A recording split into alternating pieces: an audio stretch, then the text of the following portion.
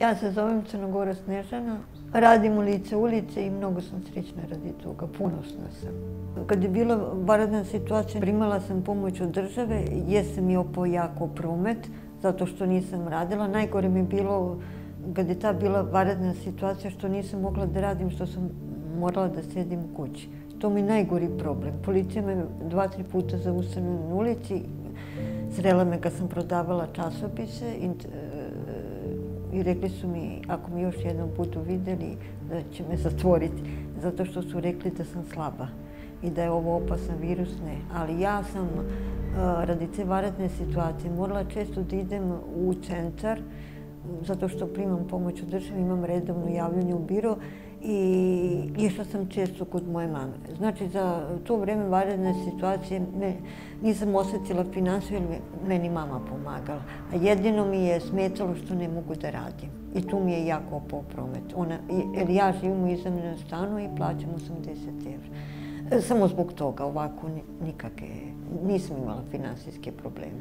Ele ona. Jedino mi je bio problem što nisam mogla da zaradim sebi. Eto. A vidite, kad sam ja bila u prihvatilištu, tamo je bilo jako lepo. Ja sam spavala, bilo je mnogo naporno za mene. Tamo se dobije samo dva sendviča i šolje čaja. A tu ceo dan morate da sedite za stolom i pored televizora. Ja sam uveče morala da idem u Temerinskoj. Znači, tamo je bio smeštaj za spavanje. Znači, čuvar je svako večer donosio večeru. Mi smo morali tu celu zgradu da čistimo, da sređujemo. E, taj čuvar nam je mnogo finansijski pomagao. Davao nam i pare i za kafu i žena mu je donosila kuvar. Ali u šest ujutru mi moramo e, zimi da izađemo. U šest ujutru. I onda idemo svako jutro u kafić, sad dva, i onda idemo u dnevni boravak. A dnevni boravak, što je meni bilo naporno, ja sam teško podnosila hladnoću, valjda sam si razbola od toga.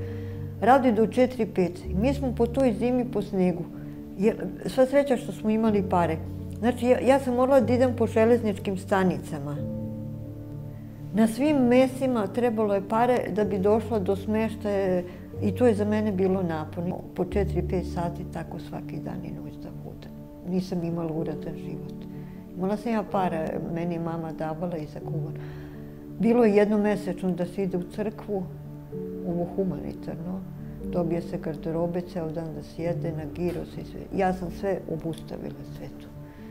Ja sam izašla iz prihvatilišta i radim te časopise i tako iznajmila stan i sa njima ne. Gazdarica mi redovno kuva, neće ništa da naplaćuje jer zna da sam se razbola. Ona je dobila paketi hrane i mekike i hleba i kolača i kuvanog i mese. Ima tu jedna žena što radi u pekari, ona je i hleba i peciva i pečena. Znači da sam dobro živjela za vreme. Je, ali meni nedostajalo moje. Tu najviše i moje zarade. Ne, ne volim od nikoga oni kad mi donesu, e, ja se tu osjećam da sam dužna.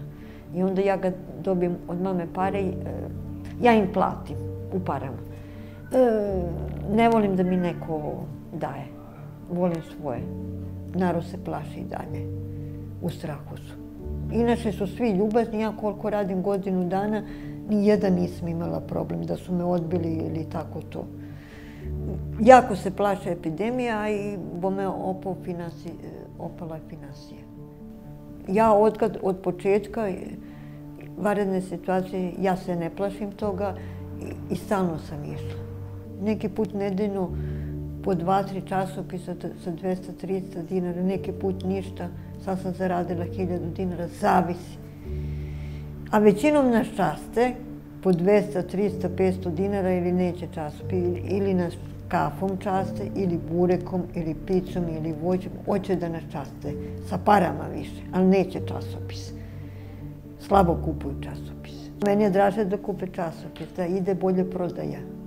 Išla sam i po galerijima sve. Rekli su mi da ni jedan čovjek nije išao u galeriju, da mi platili časopis.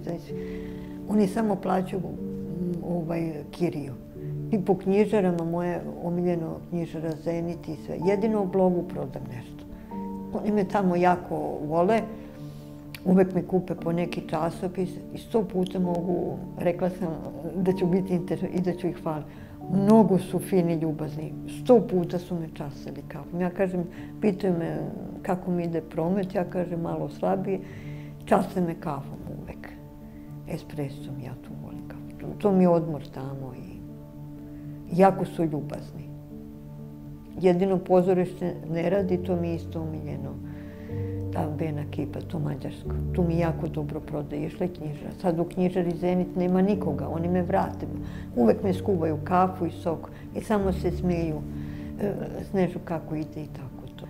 Pa ja bi samo volela da krene ovaj bolje časopis i da se to stavi na internet, da ljudi čuju mnogi koji ne znaju za ovaj časopis, da je to jako lep časopis, da je to jako za socijalno ugrožene, ko spava po ulicama ko ima dobra primanja da im se pomogne, ko teško ne može da nađe posao, ko je sa invaliditetima, koji su ljudi malo dobro finansijski da nam se pomogne.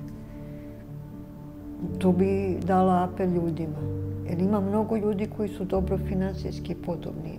Da se pomogne nama koji smo malo socijalno ugroženi. Mislim, teška je situacija, ovo je velika epidemija. A sad ja ne znam šta može da se desi. Ali ne plašim se, ja mislim da će biti bolje. Nadam se, ja sam jako optimista.